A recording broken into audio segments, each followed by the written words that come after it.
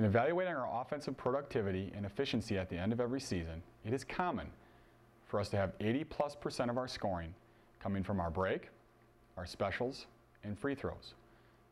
Given that fact for us, it is my hope for you that you can find something in this DVD series to help you and your kids play to their offensive strengths.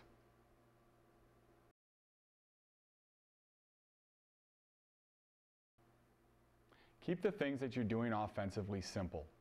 It's not about complexity, it's about execution. There's nothing that we run in our whole offensive package that would be considered complex. It's all about execution, it's all about repetition, it's all about putting your players in position to run sets that are going to be to the strengths of your best players. Keep it simple.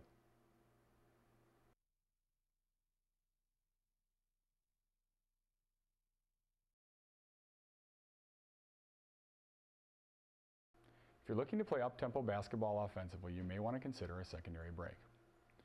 Why run a secondary break? Well, there's a couple things you may want to consider. First off, many high school teams, as we know, transition very poorly defensively, particularly after made baskets. Uh, some of your more talented teams, teams that can really put the ball in the basket and, and, and, really do, and really do a great job of scoring the basketball, don't transition very well after they score. Second thing to consider is that if you don't put some sort of structure to what you're doing offensively with your break, your kids will walk the ball up the floor after a score. Now, if you're going to be a running team and you're only going to run off of defensive rebounds or turnovers, you're going to limit what kind of a transition team that you can become. Kids need to be taught how to run. They will walk the ball up until we teach them and put them in positions, then demand that they run and get in certain positions. So that organization will, I think, help you.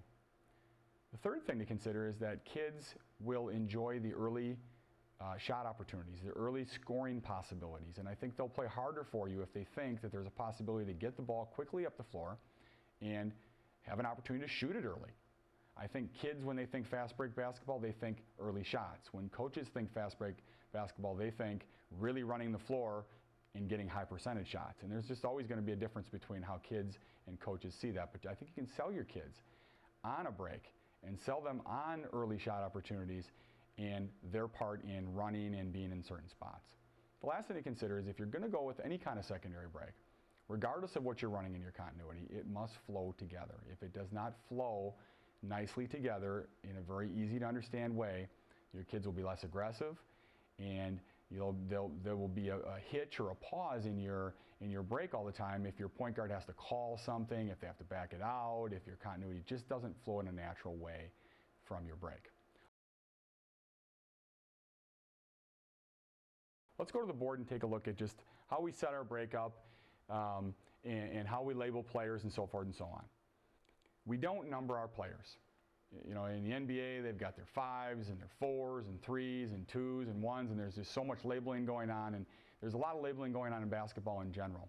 I think it limits your ability to uh, substitute, and it hurts your, your flexibility with your kids if you specialize and have too many names and numbers and, and positions for them. So for our break, we start out in teaching it with forwards, wings, and a point guard. Now we know that later on that once these kids get used to this, these, these positions can all be very interchangeable and there's really no problem with that whatsoever. But to start out, we've got our forwards. Our forwards responsibility, if the ball goes through the net, is to get the ball in bounds as quickly as possible. The quickest forward to the net with the ball in hand. We teach them to drive it deep out of bounds. Okay, so it's a press. Get clear of the backboard. That is your trail forward who takes it out. Okay, whoever gets there first, either forward. There's two forwards, two wings, and a point guard.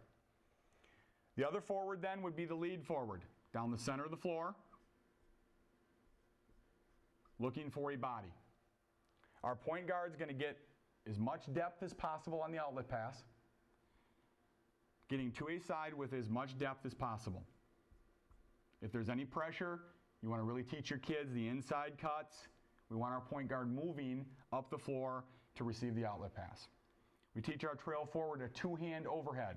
Step deep out of bounds, a two-hand overhead up the floor to the point guard, like I said, as deep as possible. Okay, wings responsibilities are simple yet really important. We want to get our wings early, wide, with vision. Now, early wide is important because if you run your lane down the center or the three, well, I call the three quarter area, before you finally get wide into the front court, okay, the point guard is going to do more dribbling than we want to do. We want to do very little dribbling in our secondary break. When we're in a primary break or a steal opportunity, our guards are going to dribble. We know that.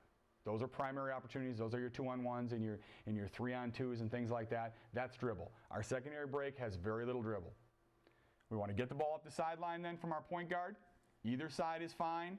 We actually like our point guard to misdirect. If they're on the right, throw their ladder pass up the other sideline. Now, our lead forward is going to get against the body, and that's very, very important. We're not sending our lead forward right away to the block. We're not sending our lead forward right away to the first hash. We're sending our lead forward into the center of the floor trying to find a body because we'd like to go point to forward if possible. We really would. Now, once we get the ball into the front court with a wing, then we have our lead forward peel it off to the first hash no deeper.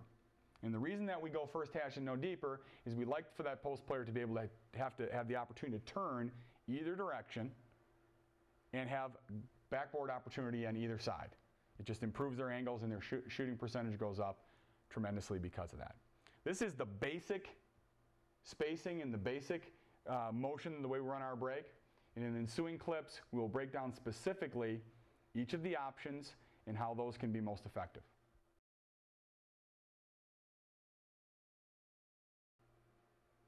Before we get into our cuts and all of our scoring options in our secondary break, it's important to talk about ball reversal. There are three basic ways to get the ball reversed in a very safe way. You need to teach your kids the importance of ball reversal and the timing, uh, the timing importance of ball reversal. Obviously, when we get into the front court, we've got two wings. We've got one wing on the left side, one wing on the right side. We've got a lead forward who was in the center of the floor looking for a body that is now peeled off to our first hash uh, above the block. We've got our trail forward who is trailing the play out high uh, above the top of the circle. And we have our point guard who is fallen in line behind their ladder pass, whichever side their, whichever sideline their ladder pass went to. So let's just say we went up the right, right sideline right here. Our point guard would fall in behind in what we call the safety position. The first read of our wing players to go inside to our lead forward. Wing players that don't like throwing the ball inside to our lead forwards, they don't play very much. We want to get the ball inside. You may not have a dominant post player on the inside, but getting the ball inside and getting some inside touches and playing basketball from the inside out is still going to be important. So your wing players need to understand that is the first option. Now, reversal. We want to reverse through our trail forward. It's important our trail forward is active. If, it, if the wing player has taken a little bit of time evaluating the lead forward, okay, they may be relocating with their dribble and they may be ball faking and trying to get the ball inside. We don't want to discourage that because we're really, really emphasizing that. So trail forward could get stagnant. So it's important that they're driving their man off, getting open with this type of V-cut movement. Now, wing player needs to throw outside shoulder passes. Outside shoulder passes away from the defense. Now, when we get into the trail forward and we want to swing it and get it to the weak, weak side of the floor, it's important that our weak side wing is also not standing, but driving uh, with a V-cut, driving their defensive man off so that the pass can go to the outside shoulder. Trail forward is the most common reversal in our secondary break. The second most common reversal would be through our safety, and we call it safety because it is the safest. The, the, biggest position that is least likely to be denied by any defense would be the point guard in the safety position, trailing the play out, you know, two or three feet from half court. That's, that's a pass we're going to be able to make fairly safely. If we do, if we make the safety pass, it's an automatic that our trail forward comes over, ball screens, and our point guard reverses the ball through the dribble. Weak side wing again is active and passes are on the outside shoulder. First reversal trail forward. Second reversal opportunity is through the safety. The last reversal opportunity would be a straight skip. If you have a really good low post player down here, the help side is going to be there. Teams are going to bring their entire help side over on the break and get it on your lead forward. So if they do that, a lot of times we'll really encourage our kids through the scouting that we've done and the film that we can show that help side defenses, we want to beat those with straight skips. So we will straight skip the ball across the floor to our weak side wing player.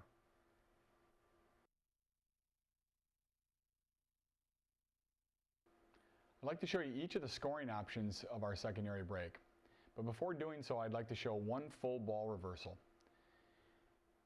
I have all 11 scoring options listed here on the board, but complete ball reversal is what I'd like to demonstrate right now. I've got the sideline ladder pass to our, our wing. It's on the right side. It certainly could be the left. You really need to emphasize with your kids to not become one side dominant with your break. You want your point guard to misdirect with the dribble. You want your point guard to throw some diagonal passes to wings, dribbling on the right, throwing to the left, dribbling on the left, throwing to the right. The first read, of course, is to the inside of the, to the lead forward. If there is no lead forward passing opportunity, we can swing the ball through our point or swing the ball through our trail forward. We want to get the ball to the weak side. We also may use a skip as we talked about in, in our reversal segment. Let's just say that we reverse the ball the outside shoulder to our trail forward. The trail forward's done a nice job of getting himself open for a safe pass. The wing has also done a very nice job of getting open, and we have no problem with our reversal pass. Getting the ball reversed now to the weak side, the action is as follows. When the ball changes sides of the floor, the initial ball side wing makes a cut. When they get to the screening lead forward, they have a choice to make. They can use the screen high, or they may use the screen low. In either case, they're going to carry on through to the new ball side.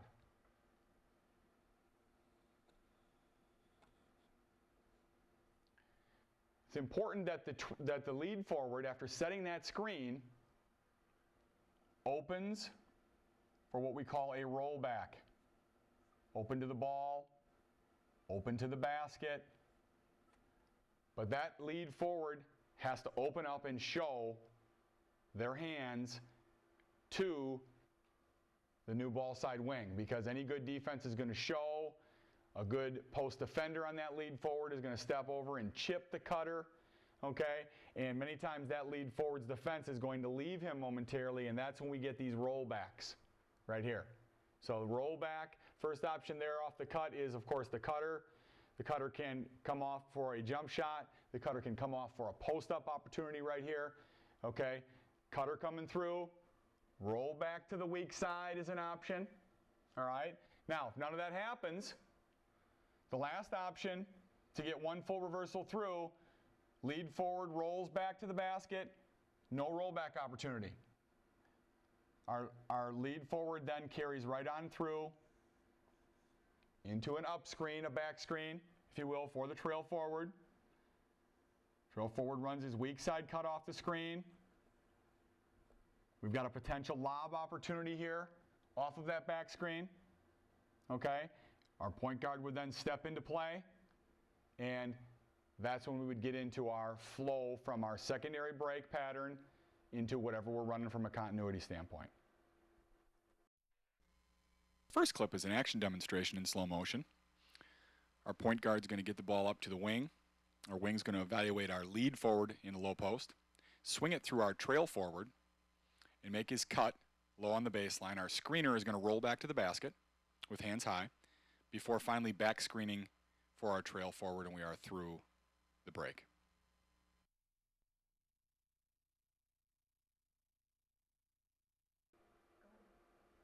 We've had a chance to take a look at our basic assignments, our basic spacing, in one full ball reversal. At this time, I'd like to take a look more specifically at all of our scoring options and talk a little bit more about just exactly how certain cuts should be made and how they can be most effective in getting a, a quality shot opportunity. I have 11 scoring opportunities, including our, our split series at the end. The first one, as we've talked about, is our wing to post option. Okay, the quicker we get the ball up the sideline, the better chance we have to actually get the ball into our lead forward before help defense can set up. So our first option is ball up the sideline. Again, we're on the right side of the floor. We certainly don't want to make a habit of being only on the right side of the floor, but for consistency purposes on the board, I'm staying with the right side of the floor. We've got the ball up the sideline and we're quickly inside. Our first option is wing to lead forward for an early shot opportunity. Clip number two of our break sequence is also in slow motion. Our point is going to enter to our wing. Our forward, lead forward, is going to do a nice job of staying against the body and sealing for our post entry pass, right on time, and a nice finish.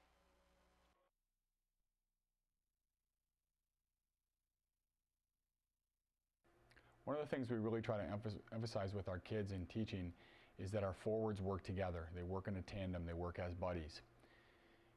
When we get the ball inside from our ball side wing to our lead forward, it's important that these two players are accustomed to working together.